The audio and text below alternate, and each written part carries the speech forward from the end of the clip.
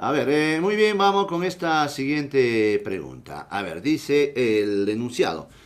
El cuádruple de la tercera parte de un número. Eso es así, ¿ah? escuchen. El cuádruple eh, de la tercera parte de un número. Así se hace. El cuádruple de la tercera parte de un número aumentado en su novena. Ya, correcto. Tenemos aumentado en su novena es igual a 13, correcto. Indica el triple de dicho número. Primero hay que resolver, y ya tú sabes, utilizando el, vamos a hacer el XD.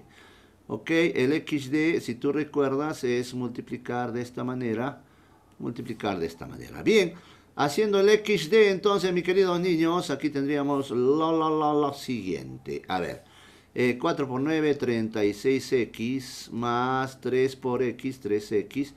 Y abajo la multiplicación 3 por 9, 27. Que es igual a 13. Bien, sumamos 36 más 3, tendríamos 39x. Eh, que es igual a 13 y aquí sobre 27. Bien, a ver, eh, atiende por favor aquí lo que vamos a hacer. Muy bien, escúchame.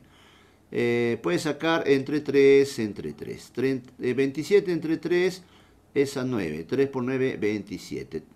39 entre 3 es a 13. ¿Ok? Bien. Ahora, entonces aquí, escúchame por favor, sí se puede hacer esto, así se puede hacer esto. 13 entre 13, 3 entre 13. 3 entre 13, 1. 3 entre 13, 1. Entonces, ¿Qué es lo que nos va a quedar aquí? Atención, por favor, queridos niños. Aquí lo que nos va a quedar es lo siguiente. Mira, eh, aquí te queda 1x, ¿ya? Aquí te queda 1 y aquí abajo está quedando el 9.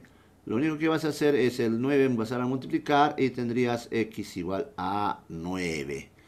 Ya, ahora, si x es igual a 9, lo que nos pide, dice, a ver un ratito, vamos a ver, indica el triple. Vamos a hallar, dice, el triple eh, de dicho número, o sea, el triple de x. En otras palabras, vamos a multiplicar 3 por x, pero ya se ha encontrado su valor de x, que es 9. Entonces, la respuesta a esta pregunta es 27. Eh, Esa es la respuesta.